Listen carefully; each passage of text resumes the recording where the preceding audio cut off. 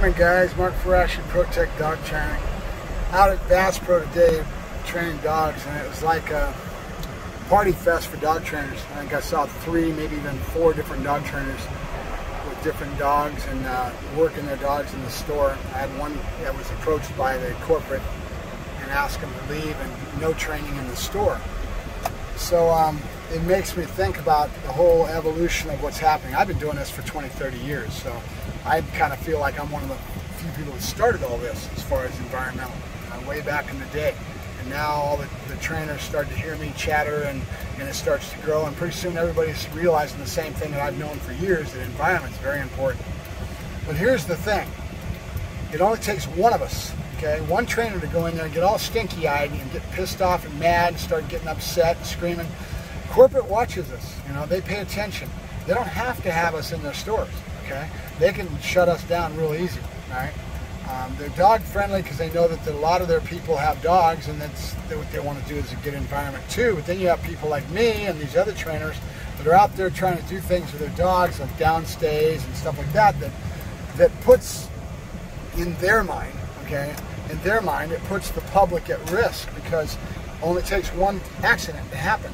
That you have a dog that's nervous and afraid and whatever happens um, to the point where you end up uh,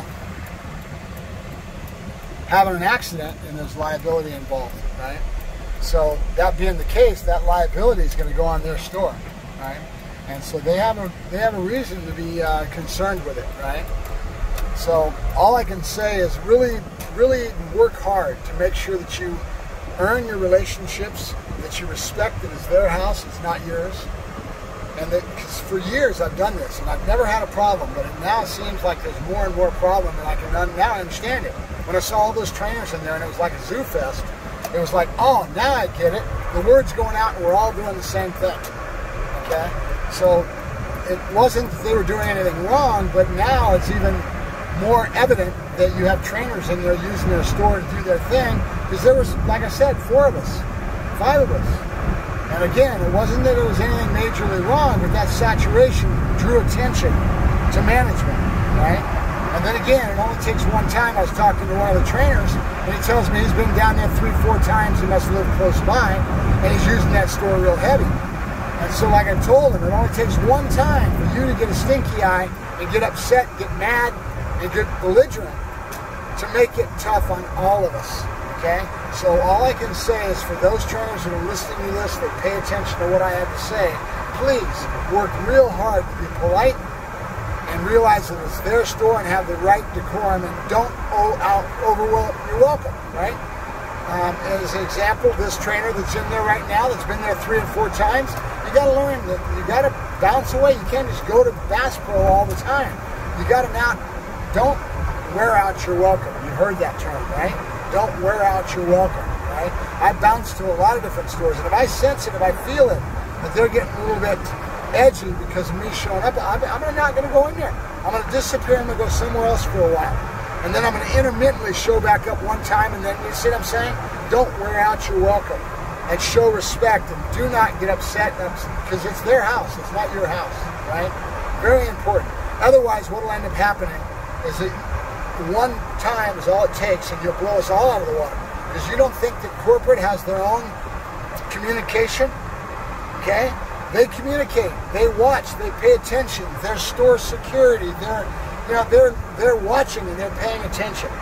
And if we make it tough on ourselves because we wear out our welcome, or we get stinky eye and we get belligerent, we will ruin it for everybody okay? And then pretty soon they will shut the gate and they will shut the door on us because they do not want that liability in their stores, right? You are a guest, right? Very important. So just keep it in mind and realize that don't wear out your welcome. Be a little bit more intermittent with where you go. Don't go there all the time and become an eyesore to where pretty soon you become a problem, right? Then also work very hard to build your relationships, earn their respect, and be respectful. Okay? I think it was Mother's Day or a holiday just recently. I went up and I was working at Home Depot, and the manager come out and he asked me not to do a downstay next to the store. Why? You have to understand where their heads are at. They're there to sell product. They don't care anything about anything else than their merchandising of their store, their marketing, and their bringing of their cash register. They're there to make a profit, right? That's their main concern. They're only having us there as a way of making their stores be more friendly for their customers to come in. But if we become a problem, it's not going to be too hard for them to change that. And they have their communication, believe me. Okay? They have corporate communication. They talk to each other. They pay attention. This stuff keeps coming up throughout the country. You ever think about it? Bass Pro, Home Depot, um, Tractor Supply. Those are corporate stores that have stores throughout the United States. Okay? You ever notice that they market and they merchandise their stores all the same across the board? They all look the same. They all have the same feel. Their marketing is the same across. That's communication, right? You don't think they communicate about us as well? Okay? You have to be respectful or you will you will ruin it for everybody. Okay? So just a, a word to the wise, and I hope this goes out everybody pays attention to that and we all work hard to earn our respect and to not hurt what we need. We need that environment. If we don't have that environment, we can't work our dogs to the levels that we do. Very important that we have stable, well-developed dogs.